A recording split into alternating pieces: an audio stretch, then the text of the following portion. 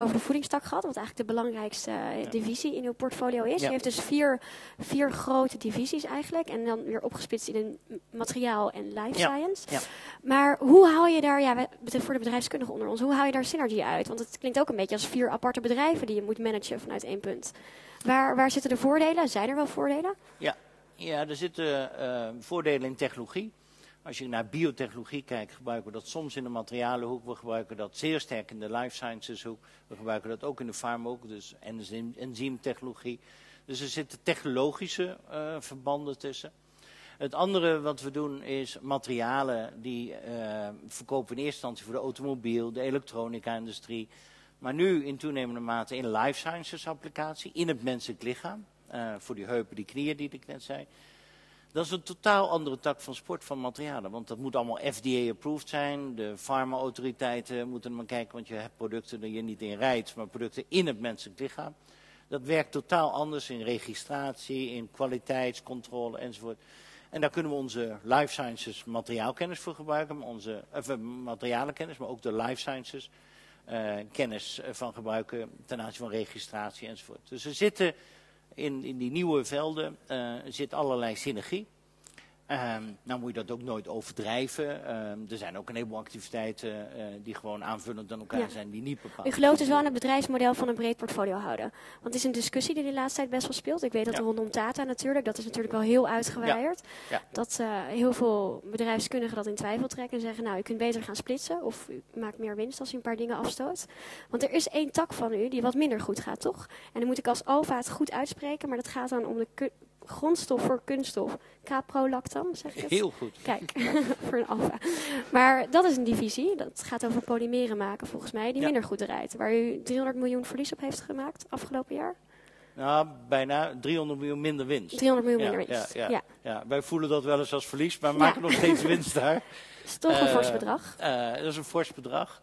Ja, caprolactam is 10% van onze omzet. Het is een schitterend scrabblewoord. Het is de afgelopen jaar veel gebruikt in eh, CNBC, RTLZ, die ook dat onuitsprekelijke woord moest Ja. uitspreken, omdat het een impact had op onze resultaten. Mhm. Dus in één televisiezender hadden we het tot scrabblewoord van het jaar gedoopt.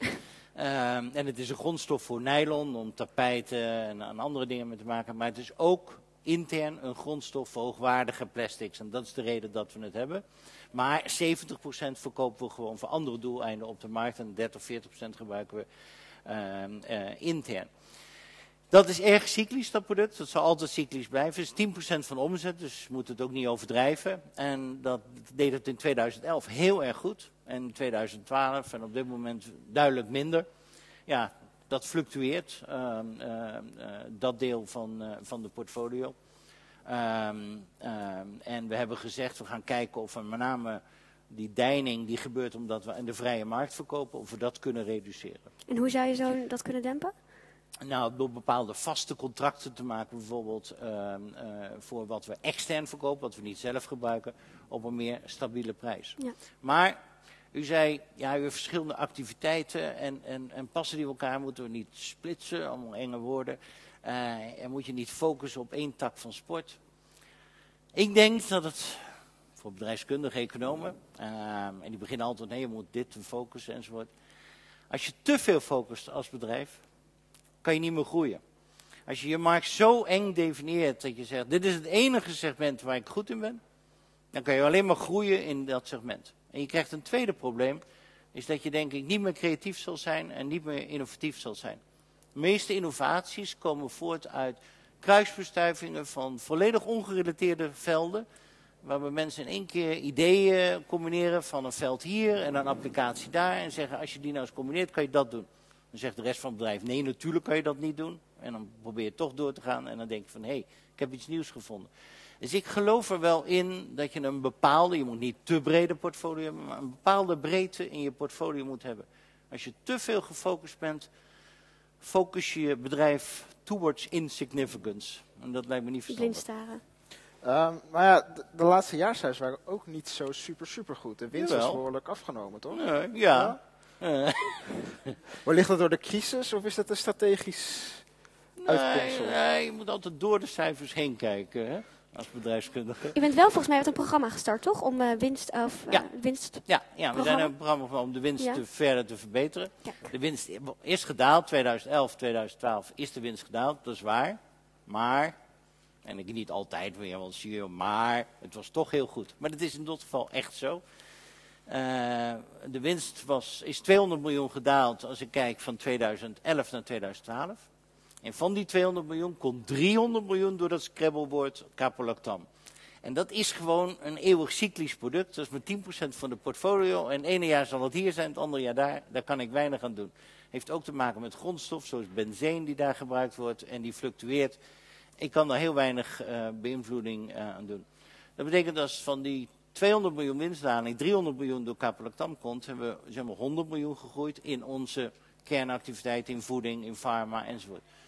Dus eh, ik wil het niet als excuus noemen, maar ehm, om even toch enige nuance. Maar u wil wel weer groeien eigenlijk volgend jaar. Dus hoe gaat, hoe gaat u dat bedrijf bereiken? Ik geloof, u doet heel veel aan acquisities. Ja. Afgelopen eh, drie jaar iets van 2 miljard eraan uitgegeven. Bijna drie. Volgens mij gisteren weer iets overgekocht, of niet? Of vandaag?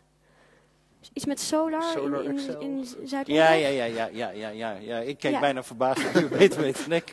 Eh, Het is maar een klein, klein Ja. activiteitje. Zegt Ja, dat genoeg over u eigenlijk als CEO, dat hij soms eigenlijk niet zo goed weet wat er op kleine Nee, nee, nee, dat zegt Oh, het absoluut niet. nee, ik, ehm, als u intern zou vragen, dan eh, denk ik dat eerder het antwoord het omgekeerde is. Dat ik erg veel weet van het bedrijf. Ja. Dus eh, nee, dat u heeft een ik. strategie gevoerd van acquisitie, heel erg. Is dat alleen acquisitie, of gaat u zich de komende tijd op innovatie storten, of is het altijd en-en nee, geweest? nog sterker. Ik heb gezegd dat we de komende tijd iets rustiger zullen doen op het acquisitieterrein.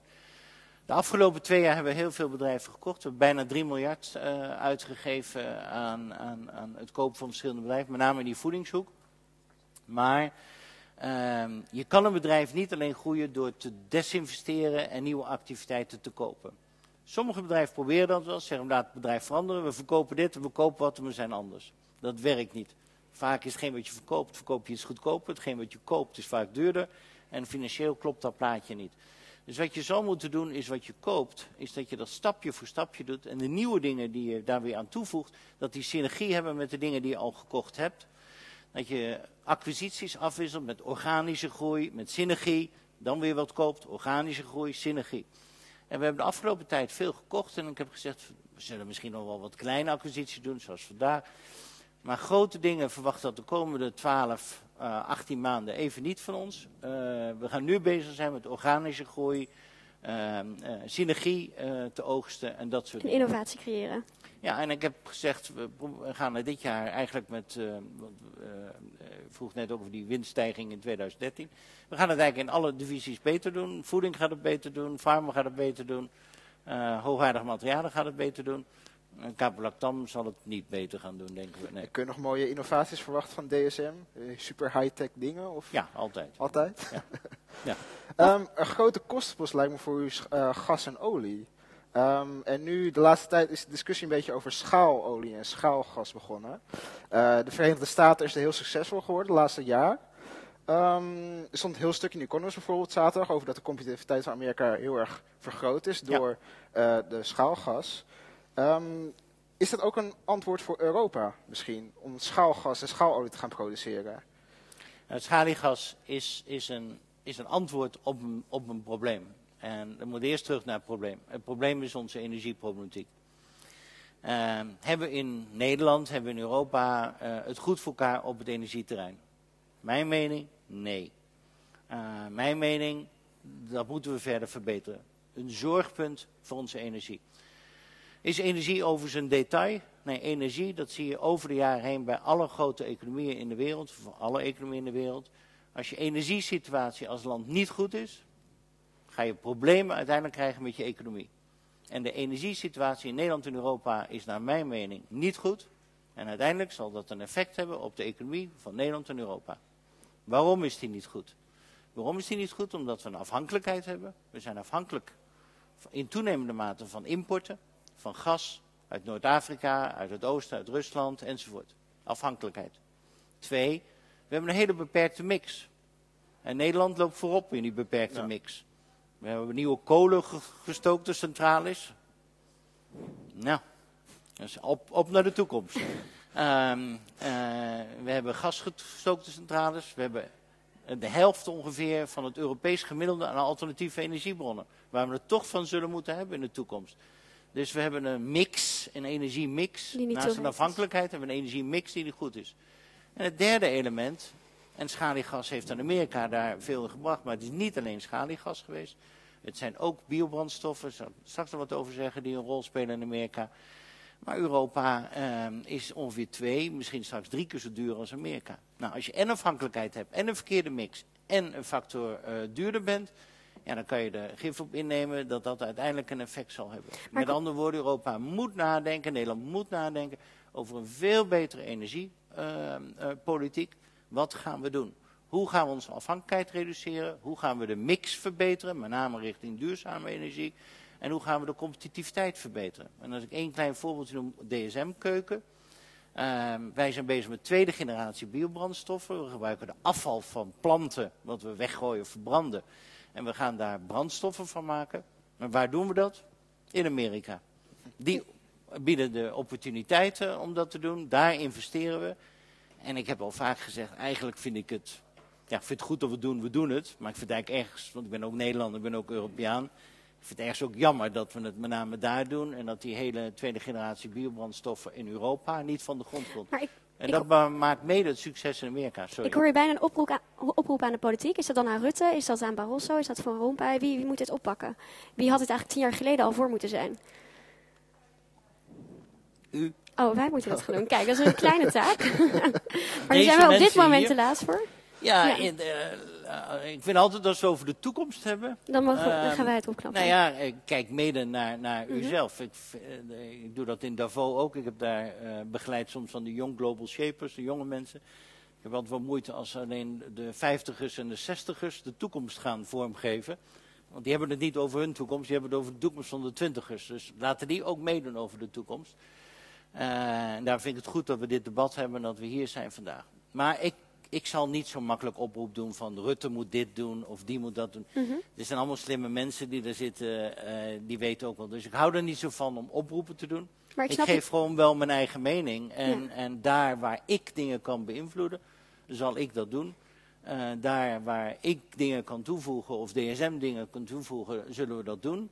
Ik ga niet de hele dag anderen de les lezen van wat jij of zij eh, moeten doen. Aan de andere kant, ik ben het wel, het schaadt wel de concurrentiepositie van de Nederlandse chemiesector. Volgens Ja. mij stond er vanochtend in het Financiële Dagblad dat eh, de U en AXO en alle andere chemiebedrijven het jaarlijkse kostenplaatje, eh, dat Amerikaanse bedrijven een miljard minder aan gas kwijt zijn door de opkomst van schaliegas. Ja. En dat is dan wel, dan snap ik dat u misschien niet de politiek wil, wil vermoeien met uw vragen, maar u bent wel CEO, u wilt dat u goedkoop energie kan krijgen. Uiteindelijk wil u een goed bedrijfsresultaat. Nou, laat ik het anders zeggen. Ik vind het altijd leuk omdat ze het oproepen binnenskamers te doen dan buitenskamers. Dus Geen brandbrief over dit onderwerp? Ah, soms, maar dat moet je niet al te vaak doen. Soms schrijven we wel eens een bandbrief. We hebben dat twee jaar geleden, gedaan over Europa. En terecht. Ehm, eh, maar ehm, hey, ja, de analyse. Iedereen die een verantwoordelijke positie in Europa heeft, of in Nederland heeft, of het nou minister is, of bij een bedrijf, of in technologie. Iedereen die een verantwoordelijke positie heeft, die iets te maken heeft met energie. Of iedereen voor wiens toekomst er mede van afhankelijk is heeft denk ik een verplichting om daar iets aan te doen. En eh, zeg het maar waar mijn analyse verkeerd is, dat we erg afhankelijk zijn, dat we een verkeerde mix hebben, niet concurrerend zijn.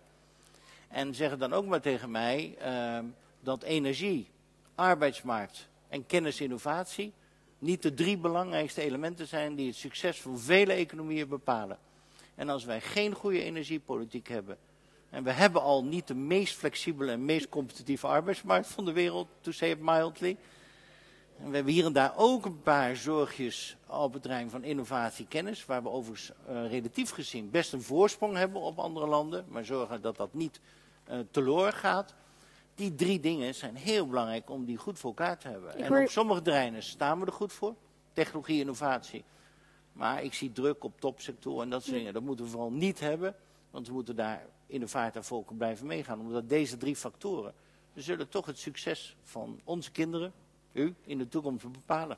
Oproep aan de studenten bijna. Maar het lijkt me toch dat u in een lastige spagaat zit. Want aan de ene kant bent u voor de duurzaamheid. Ja. En zou, wilt u het liefst duurzame energie in zoveel mogelijk windmolenparken, kan ik me voorstellen. Maar aan de andere kant wilt u zo goedkoop mogelijke energie om toch die mooie chemieproducten van u te maken. Voelt dat als een spagaat? Of is dat, heeft hij ene keer de ene pet op en de andere? Nee, nee, nee. Ehm, eh, kijk, we zijn een internationaal opererend bedrijf. Ik schets dat met biobrandstoffen. Als er eh, meer toekomst is in Amerika eh, dan in Europa, dan doen we dat soort activiteiten in Amerika. Dus zijn ik pleit, om helemaal naar Amerika nou, ik pleit bij dat soort dingen niet zoveel voor eigen parochie. Dat gelooft natuurlijk, dat gelooft niet iedereen. Maar dat is wel zo. Ik pleit ook omdat ik Nederlander en Europeaan ben. DSM zal het absoluut redden. Maak ik me zorgen over DSM? Nee, tuurlijk niet op dit terrein. DSM zal het echt redden. Daar maak ik geen in Amerika. over. DSM zal altijd zijn, zijn dingen weten te bedenken om het, eh, om het te redden. Ik zeg dit soort dingen niet vanwege belang in DSM. Ik zeg dit soort dingen omdat eh, ergens, natuurlijk heeft het iets met DSM te maken, maar met name ehm, eh, omdat ik ook Nederlander en Europeaan ben en graag wil dat een volgende generatie hier ook goed kan leven en ik me op een aantal terreinen eh, eh, zorgen maak. Twee, die alternatieve energie, ik denk dat dat de toekomst is. Dat zullen we uiteindelijk moeten, eh, moeten omarmen. Uiteindelijk zal deze maatschappij uiteindelijk teruggaan naar waar we waren. Back to the future, part 2. uiteindelijk zal dat gebeuren. En wat, wat zal er gebeuren met energie? We zullen die energiebronnen weer aanboren die we al duizenden jaren daarvoor hebben aangebrand. Renewables, zon, wind, water, bio, het land. Duizenden jaren hebben we gebruik gemaakt van die energiebronnen. Om te zeilen, om ons te trans- transporteren, ehm, eh, hout op het land te groeien, om, om, om eh, vuur mee te maken of om huizen mee te bouwen. Ja. Sinds 150 jaar hebben we onze hele maatschappij aan olie verslaafd en gas en kolen. Drie raw materials die we uit de grond hebben gehaald. Daar zijn we slechts 150 jaar geleden mee begonnen. We leven hier al 100.000 jaar. 150 jaar mee begonnen. En nu komt 80% van de elektriciteit, energie, transport, verwarming, maar ook onze kunstmatige materialen, komen allemaal uit deze drie grondstoffen. Nou zal dat best nog wel 150 of misschien nog 200 jaar doorgaan. Maar een keer houdt dat op. Als we hier over 500 jaar leven, dan praten ze over ons van, ach, die mensen, weet u nog wel, uit het fossiele tijdperk. Die hadden hun hele maatschappij afhankelijk gemaakt van drie grondstoffen. En die dachten dat dat eeuwig door zou gaan. Maar dat ging niet eeuwig door, want een keer hield het op. Maar u voorspelt weer een teruggang naar de natuur dus? Ja, en niet alleen houdt het op omdat eh, de olie en de gas op zullen zijn, dat zal een keer zo zijn, maar we zijn ook weggegaan uit het stenen tijdperk, niet alleen omdat we geen stenen meer konden vinden, maar omdat er betere alternatieven waren. Ehm, betere alternatieven die uiteindelijk goedkoper zijn, want het, de nieuwe olievelden worden wel steeds duurder. Eh, nieuwe alternatieven die schoner en goedkoper zijn, nieuwe alternatieven die hernieuwbaar zijn.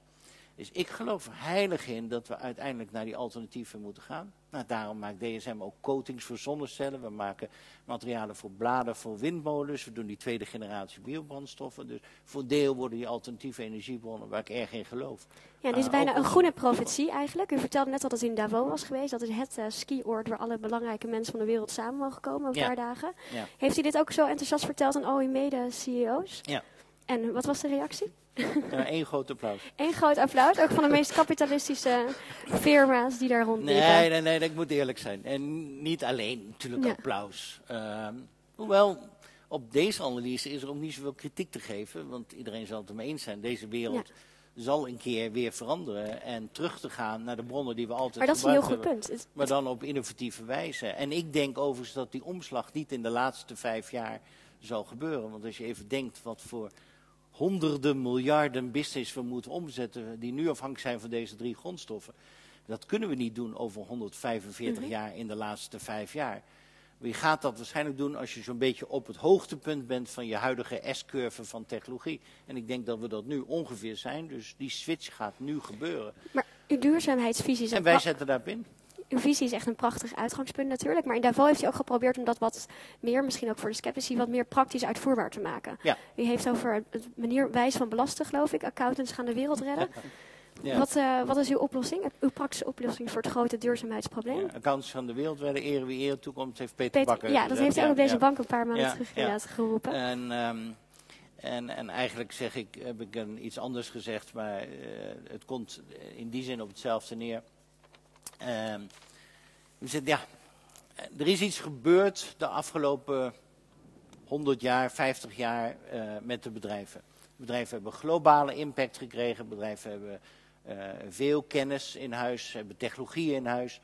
100 jaar geleden hadden bedrijven een lokale impact, een regionale impact, maar geen globale impact. Bedrijven kunnen de wereld vernietigen, bedrijven kunnen de wereld beter maken.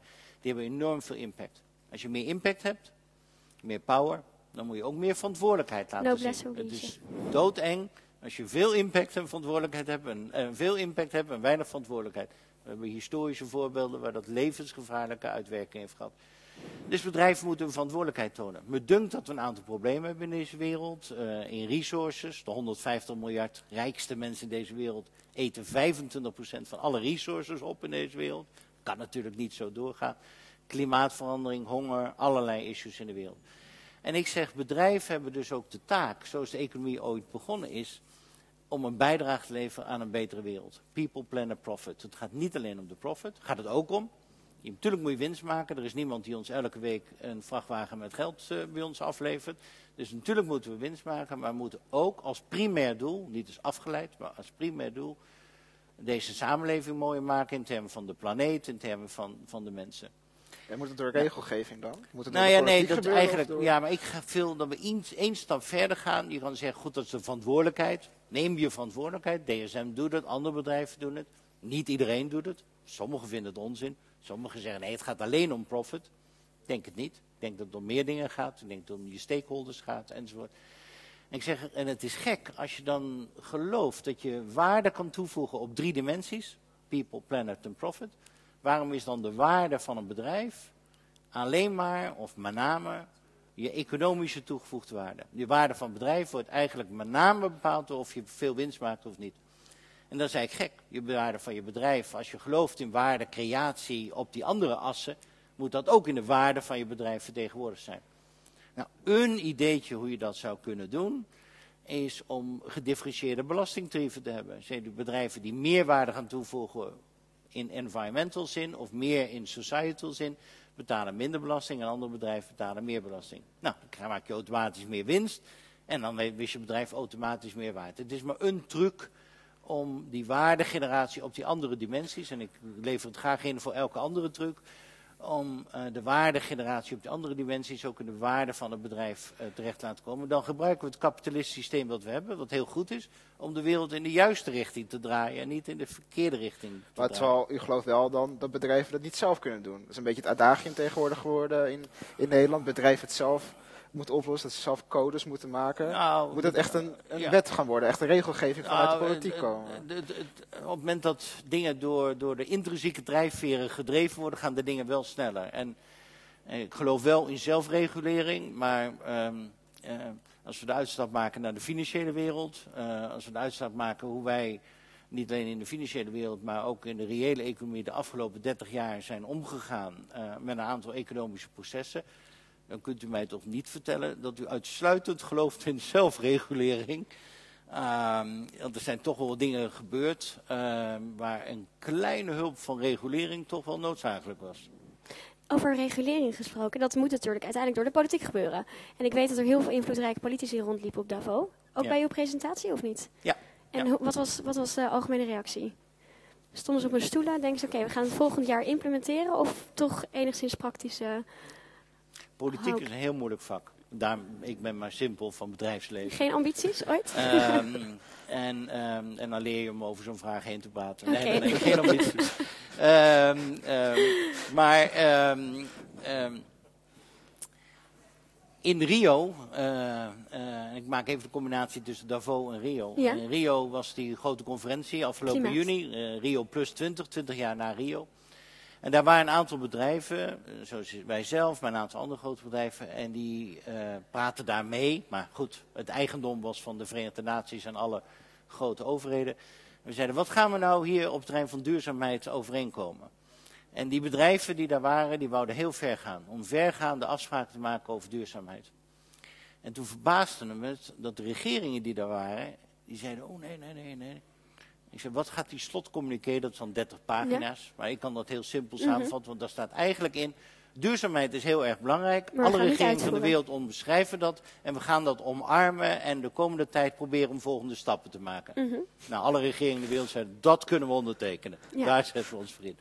is natuurlijk een vrij, vrij, vrij makkelijk communicatie. Maar is het dan lobby van partijen die niet willen Nou, even kijken wat er gebeurt. Wat gebeurde daar? Die bedrijven wouden verder gaan, omgedraaide wereld na twintig jaar.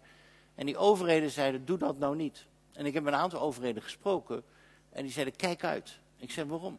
Ja, ja, jij, eh, er is een crisis buiten. Ik zei, oh, en je denkt dat ons van het bedrijfsleven dat dat ontgaan is, dat er iets gebeurt? Ja? Eh, nee, dat weten we. Eh, ja, maar kijk uit, want ehm, we moeten voorzichtig zijn met banen en we moeten voorzichtig zijn.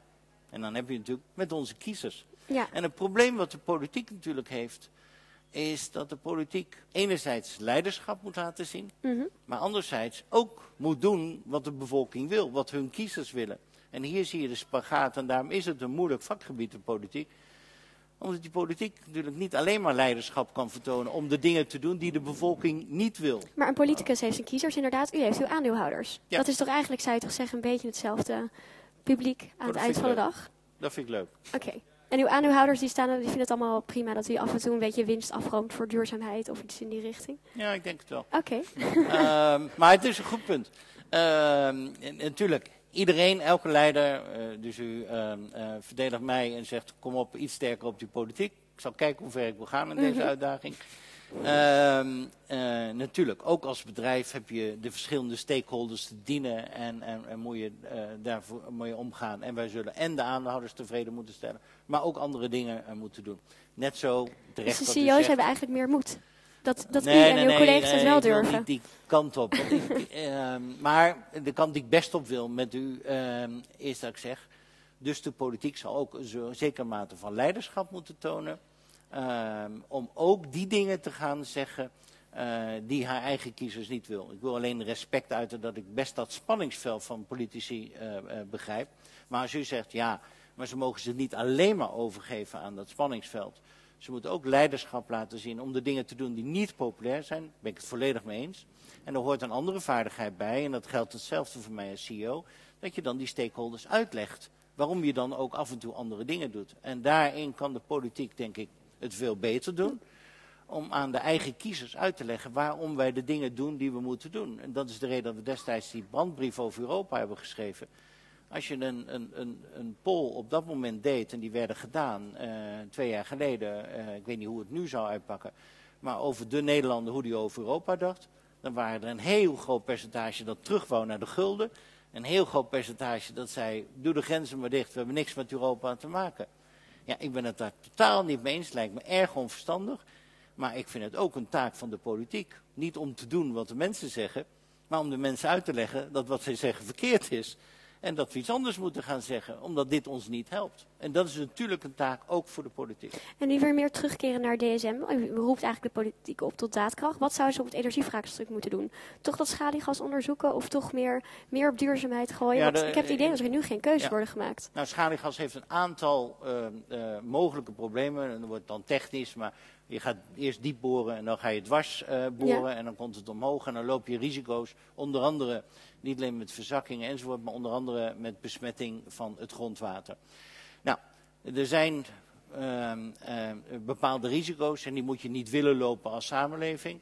Maar er zijn misschien ook bepaalde technologieën en er zijn misschien ook bepaalde plaatsen eh, waar dat wat anders uitpakt. Ik weet daar technologisch te weinig van af om goed te kunnen beoordelen of in alle gevallen je schaliegas niet moet doen of in toch een aantal gevallen in Europa het wel moet doen. Dat moeten andere mensen, daar zou ik dan eerst ehm, eh, andere specialisten voor nodig hebben om dat goed te onderzoeken. Om dat sowieso te bekijken. En niet alleen maar dogmatisch zeggen, we kijken daar zelfs niet naar. Om het te bekijken lijkt me verstandig. Maar er zitten zeker haken en ogen aan. Waar ik voor pleit is, we moeten een energiepolitiek hebben. Waar gaan wij de komende 20, 50 jaar onze energie van krijgen? En nogmaals, niet in de afhankelijkheid die we nu hebben. Niet in de mix die we nu hebben, die te weinig alternatieve energiebronnen hebben. En zeker niet op de prijs die we nu hebben. En die drie dingen zullen we moeten aanpakken. We zullen daar een politiek voor moeten ontwikkelen. Maar En nu ontbreekt die. Dit is een duidelijke visie. Kunnen we een derde brandbrief verwachten van u in korte tijd aan de politiek over Nee, dit moet niet te onderwerp? vaak brieven schrijven. Kijk, want u, heeft hele mooie, u mag terugsteunen op hele mooie collega's bij die brieven. Dat zijn ook de CEO's dan van AXO en Philips en Unilever. Dus ik zie elke keer een mooi rijtje Nederlandse CEO's komen die gezamenlijk ideeën hebben. Wat is het? Is het New Boys Network? Is het een soort van vriendengroep die af en toe ideeën de wereld in, ingooit? Het is elke keer hetzelfde groepje mannen. Ja. Ik zou er graag bij willen horen, dus ik... eh, hoe? Eh, nou ja, ik, ik weet niet of de rest het ook goed. Anders zou ik zeggen, ik nodig u een keer uit. Maar ehm, ehm, nee, je kan het geen vriendengroep groep noemen. Hoewel we elkaar natuurlijk kennen. eh, maar ik ken ook meer mensen. Ehm, ehm, en natuurlijk zijn je met een aantal industriële bedrijven, want daar heeft u het over, de vijf grote industriële bedrijven in Nederland, die een, ehm, eh, natuurlijk een aantal dezelfde dingen zien. Je kan zeggen dezelfde belangen hebben, maar belangrijker is dezelfde dingen zien. Het belang van Nederland voor bijna alle grote internationale bedrijven is relatief beperkt. Eh, wij doen iets van 2 of 3 procent van onze omzet wereldwijd in Nederland. Dus het is niet zo dat Nederland nou het belangrijkste land voor DSM eh, eh, is. En dat geldt voor die andere eh, grote bedrijven ook. Ja, maar Toch toch, is het wel zo dat we uit Nederland ontstaan zijn, dat ons hoofdkantoor zit, dat we hier nog veel research doen, ta ta ta ta. En vind ik het wel belangrijk om de dingen die we zien ook hier te delen. Ik vind het ook een beetje mijn verplichting om de dingen ook nu te zeggen, nu ik CEO ben. En niet straks alleen als er nog gepensioneerd- geluisterd wordt. en niet alleen als ik gepensioneerd ben, om dan te zeggen, ja, nu durf ik alles te zeggen, nou weet ik alles. Ehm, Maar we hadden een aantal jaren geleden nog het innovatieplatform. Daar zaten ook al die bedrijven bij. ja. Dat was nog door eh, de heer Balkenende opgericht. Dat is nou weer afgeschaft. Ja. Nu is er weer een nieuw groepje, de Dutch Sustainable Growth Coalition. Daar zit Mooi, wederom meneer Balkenende in. U zit er ook in. Is dat een soort van voortduursel van het innovatieplatform? Of hebben jullie andere doelen? Nee, nee, nee, want dat, dat gaat over een heel ander onderwerp. De innovatieplatform ging over innovatie, wat we nu hebben omgezet eigenlijk in Nederland in de topsectorenbeleid. Dus het bestaat nog wel, maar dan op een andere manier. Ehm, en eh, de heer Balkenende is bij Ernst Jong zich met name gaan bezighouden met duurzaamheid. Dus dat was een logisch eh, eh, verbonden, verbinding. En we hebben met een aantal grote bedrijven, ook met Heineken en Friesland Campina, KLM erbij gezegd. We gaan kijken of die duurzaamheid, die in Nederland toch wel ja, heel erg omarmd is door een aantal grote bedrijven, ook kleinere bedrijven. Om te kijken of we die een stap verder kunnen, kunnen brengen. Eh, door dingen met elkaar te delen, door dingen eh, met elkaar uit te werken. Ehm, en dat hebben we met dat consortium in gang gezet. U had het net al even over topsectorenbeleid. Volgens mij ooit door Rutte 1 nog eh, opgestart om de, eh, de samenwerking tussen de academici en het bedrijfsleven te vergroten. U heeft er ook onlangs met een paar andere bedrijven een brandbrief over gestuurd. Wat is het probleem momenteel met de topsectoren? Waarom, waarom moest u aan de bel trekken en uw collega's? Ja. Ehm, innovatie naast energie, arbeidsmarkt, is natuurlijk innovatie, technologie een hele belangrijke succesfactor voor Nederland en Europa naar de toekomst. We hebben in 2000 doelstellingen gezet als Europa. eh, om 3% van ons bruto nationaal product aan innovatie en R&D en technologie uit te geven. Daar komen we in, 2000, in 2010. Het is nu 2013. We zijn nog niet in de buurt van de doelstellingen die we voor 2010 hebben neergezet. Overigens komt dat niet alleen door de overheid, komt zelfs in iets meerdere mate door het bedrijfsleven. Ehm, maar de zorgen die we hebben is dat de dingen die we met elkaar hebben opgebouwd, met name rondom die topsectoren, dat die straks door het teruglopen van de gasinkomsten die we niet meer gebruiken voor de zogenaamde vestgelden, ehm, dat een aantal van die topsectoren, samenspel tussen bedrijfsleven, kennisinstellingen, overheid, dat die in het ged- gedring komen, eh, gedrang komen. En dat zouden we niet moeten hebben, want die topsectoren gaan voor Nederland een belangrijke rol spelen. Nieuwe innovatieve velden waar we de toekomst ons geld mee kunnen verdienen. En natuurlijk moeten we bezuinigen in Nederland en natuurlijk moeten we onze staatsschuld eh, terugdringen en niet te groot maken enzovoort. Maar je moet niet bezuinigen op de gebieden waar je een touwtje trekt van het verdienmodel van Nederland in de toekomst. Mhm. Want als je dat touwtje gaat trekken en zegt ik ga bezuinigen op mijn verdienmodel voor de toekomst, ja, dan kan je in de toekomst weer eeuwig gaan, eh, gaan bezuinigen. Dus die dingen moet je een beetje ontzien. Ik begrijp het is allemaal moeilijk, want dan moet je weer in andere Mhm. gebieden bezuinigen. En overal waar je bezuinigt beginnen mensen eh, te piepen, dat begrijp ik ook. Maar ik zeg met name daar waar het verdienmodel van Nederland ter discussie staat, kijk uit. Nou, gecombineerd daarbij dat we in die topsectoren een ander probleem hebben, wat we neer moeten zetten in Nederland. Dat we te weinig mensen hebben, met alle respect voor u beiden, Ja, maar we hebben te weinig Switchen van mensen die een beta-studie doen. Dus ik hoop dat er veel mensen daar wil ik het zo meteen met u nog even over. Ja, maar terug naar het hebben natuurlijk wel een paar topsectorenbeleid. beta's nog nodig. Ik, ik wil niet heel cynisch klinken, maar ik snap dat u heel blij bent met topsectorenbeleid. Ik bedoel, u bent een van de grote, grote personen, grote labels, grote, grote bedrijven daarin. Maar we hadden een paar weken terug Alexander Rinoy-Kan en Barbara Baarsma op de bank. En die, eh, in de laatste vijf minuten viel het woord topsector pas. En ze, nou, ze wilden het eigenlijk een uur over hebben. En vooral dat het niet had gewerkt in hun ogen. Ze waren, ze waren totaal geen fan van het idee. Ze zeiden, de politiek maakt een keuze. We hebben met negen topsectoren. Nou, dat omvat bijna de hele economie. Dus we kunnen alles wel een beetje geld geven. Hoe, hoe kijkt u tegen deze kritiek aan? Ehm, eh, ja, Eh, de heer Rino staat samen met mij ook in, eh, in het innovatieplatform. Eh, en we hebben natuurlijk onze meningen vaak, vaak gedeeld daarover. Er is, er is een kleine gekke stap gemaakt van innovatieplatform naar het topsector. En ik heb daar wel eens eerder ook wat over gezegd. We hadden toen zeven sleutelgebieden. Nou, omdat elk kabinet weer zijn nieuwe naam moet hebben, gingen we van sleutelgebieden naar topsectoren. Ik zei, doe dat nou niet. Innovatie heeft te maken met een lange run, een lange aanpak. En hou nou een richting. Iedereen begrijpt waar we het over hebben. Ga nou niet weer je eigen labeltjes en dingen. Ga nou proberen lange termijn. Twee hebben we gezegd, omdat we minder geld hebben, gaan we van zeven sleutelgebieden naar negen topsectoren. Ik zei, ja, dat begrijpt iedereen. Ja. Eh, dat heet keuzes maken. Dus dat, dat, ja, dat klopt natuurlijk niet 100 Nou, die twee nieuwe gebieden erbij, die zijn ook niet helemaal verkeerd. Dus ik vind dat prima. En uiteindelijk heb ik gezegd, laten we nou niet meer zo blijven piepen. Eh, eh, ik leid dit land niet, de regering leidt dit land. Die heeft uiteindelijk gekozen voor negen topsectoren. Ehm, prima, ik ga me daar weer voor inzetten om daar een succes van te maken. Dus ik zet me meer in om wat we nu hebben, om daar proberen een succes van te maken. En daar was die brief recent ook voor bedoeld, om te zeggen, laten we die in ieder geval nou, nou doorzetten. Ik ben het met u eens, maar dan hebben we het over keuzes van, van drie jaar geleden. Dat het wat onlogisch was om van zeven naar negen te gaan als je wil gaan focusseren omdat je minder geld hebt. Dat, dat, dat begreep niet iedereen. Ja, maar een ander kritiekpunt wat zij voordroegen en wat ik op zich wel interessant was, dat ze zeiden van ja, je haalt geld weg bij fundamenteel onderzoek. En fundamenteel onderzoek zie je op de korte termijn misschien nog niet echt het winsteffect Ja. van, maar is uitermate belangrijk voor innovatie op lange termijn. Geel eens? Maar denkt u, de- heeft u ook het idee dat er geld wegvloeit van fundamenteel onderzoek Nou, naar laat- onderzoek laat wat ik toch al gedaan zou Laat ik worden? een makkelijke uitspraak doen hier in dit gezelschap. Ehm, en opkomen voor de universiteiten. Alle universiteiten staan onder druk, budgetair. Ehm, eh, minder geld voor je de eerste geldstroom.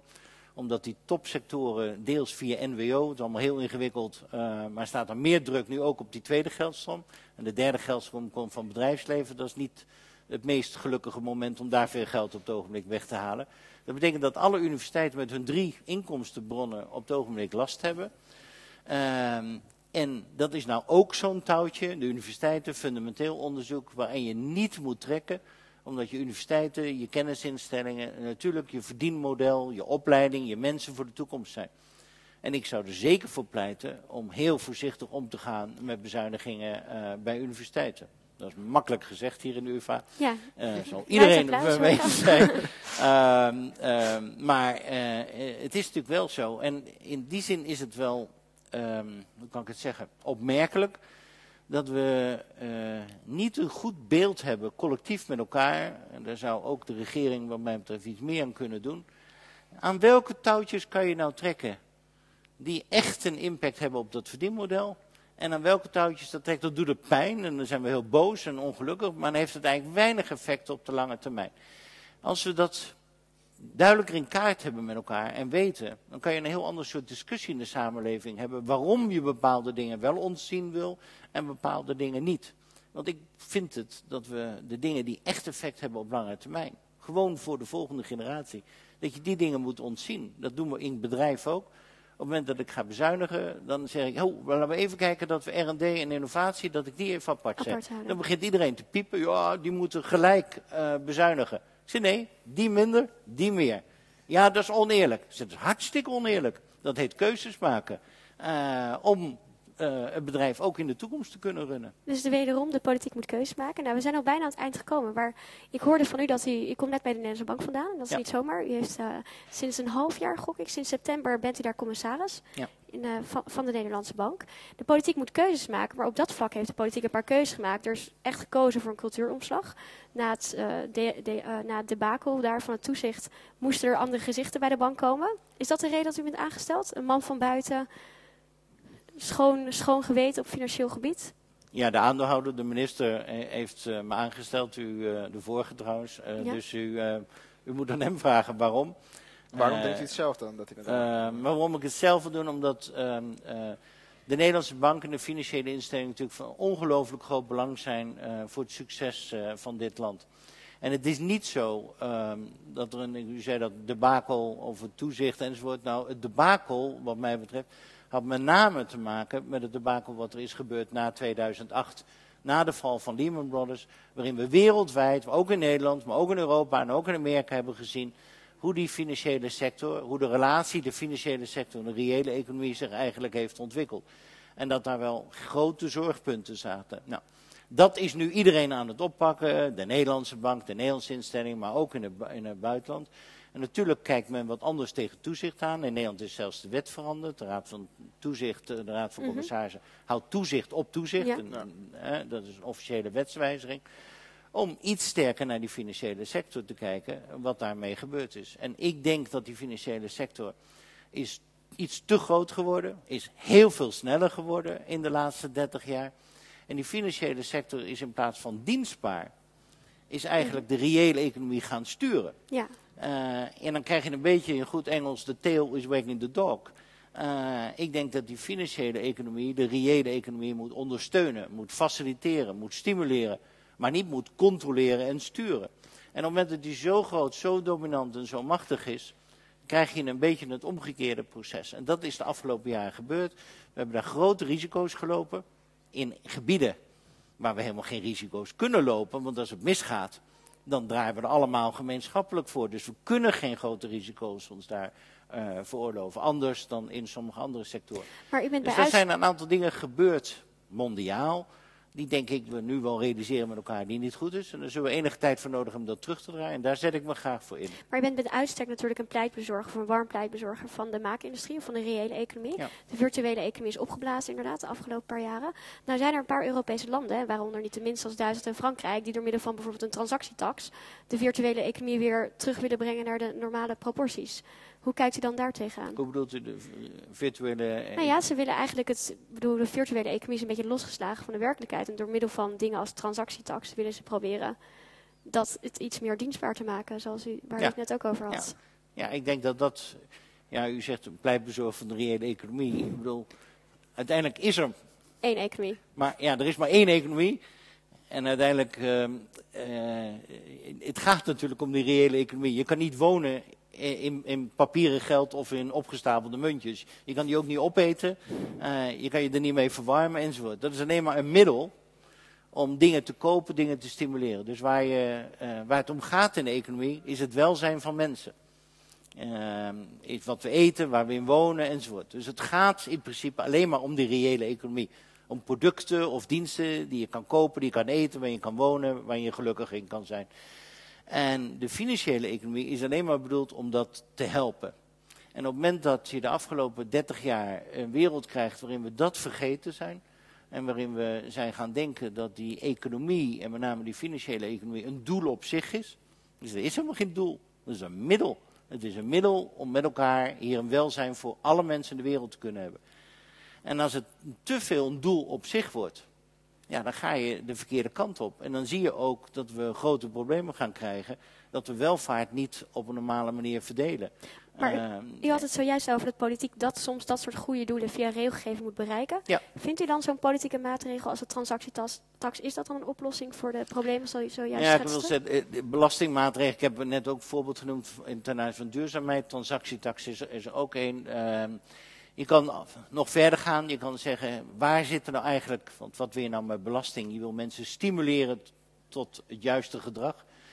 Je kan ook zeggen, ehm, een groot deel van onze inkomsten halen we uit belasting op arbeid.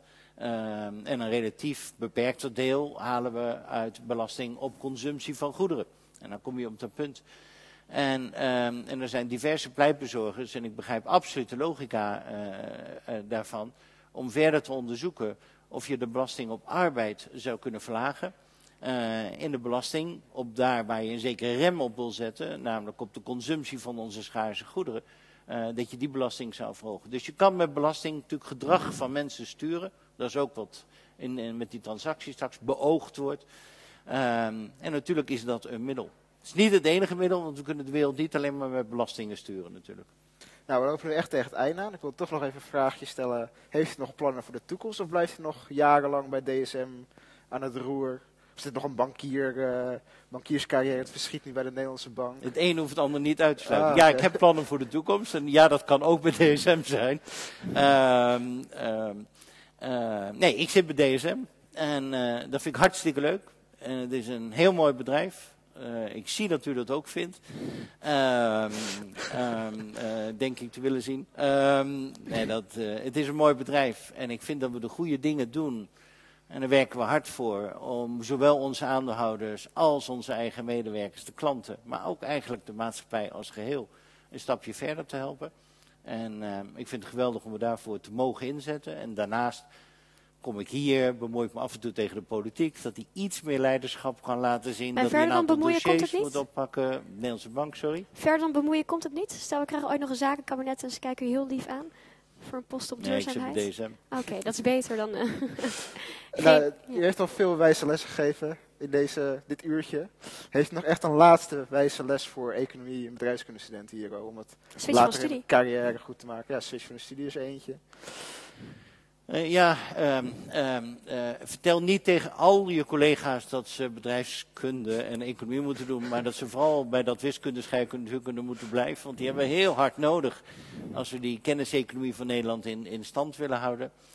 Ehm, maar misschien de belangrijkste, als ik hier naar, studenten kijk en om me heen kijk, eh, is bemoeien met deze samenleving. Ik ben mentor van wat we noemen de Young Global Shapers, mensen onder de 30 eh, we hebben de Amsterdam Young Global Shapers, maar we hebben het in 100 landen nu. Mensen onder de 30, zoals hier ook, eh, studenten. Ehm, sommigen die al werken, sommigen die eigen bedrijf hebben. Die ik uit heb genodigd, we uit hebben genodigd met World Economic Forum. Om, eh, een aantal mogen dan eh, daar naartoe. Om mee te praten over de toekomst. En, en ik vind het belangrijk als de vijftigers en de zestigers van deze wereld. Ik heb het eerder gezegd in dit interview ehm, nadenken over de toekomst van deze samenleving. Dat jonge mensen ook hun ideeën daarin in gebruiken. En niet alleen ehm, eh, zeg maar lol hebben en consumeren. Dat mag, heb ik ook gedaan toen ik student was. Zalig. Ehm, maar laat je ook horen in, in dit debat. En dan vind ik het geweldig wat jullie hier doen met deze discussie, met dit forum, dat mensen hier naar komen luisteren. Ik vind dat jonge mensen zich moeten bemoeien en mede vormgeven aan jullie toekomst. Ga daarmee door. Nou, bedankt. Eh, voordat we stoppen nog even wat huishoudelijke mededelingen. Volgende week is er geen room for discussion, want we hebben tentamens, dus we moeten hard leren. Heel goed. Eh, de week daarna, we zijn bezig om een sessie over Cyprus te organiseren en wat Ja. er nu allemaal aan de hand is. Dus eh, stay tuned, blijf kijken op Facebook, op internetsite, weet nog niet helemaal zeker. En nu rest me alleen nog om u te bedanken. Bedankt dat u hier naartoe bent gekomen. En graag een hard warm applaus voor Fijke Siebersma. Dank je. Dank jullie.